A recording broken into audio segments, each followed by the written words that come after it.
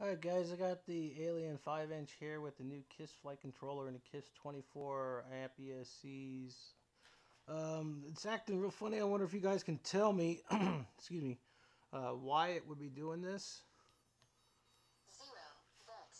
So, we'll turn it on, let it initialize, okay.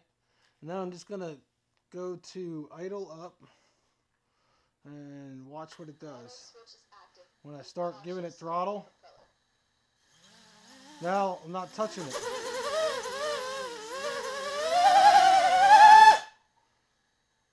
That was me not even touching the throttle once it got up to a certain throttle.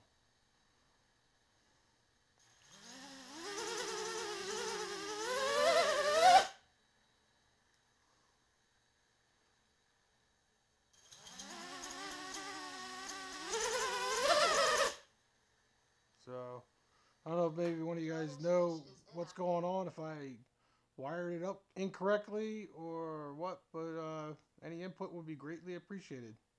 Thanks a lot.